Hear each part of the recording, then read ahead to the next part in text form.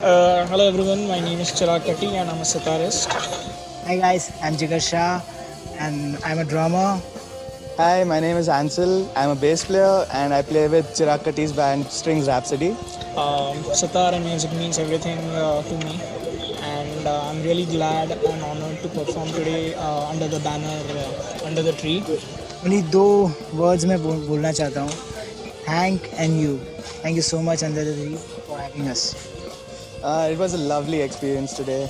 The amazing crowd, amazing sound, and uh, this which is awesome. I love the initiative. I hope you guys are up for more like this. Thank you.